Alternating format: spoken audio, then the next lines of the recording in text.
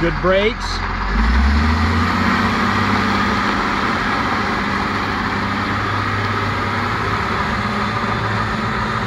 Lights in the rear are working. It's like one tail light maybe. It's out.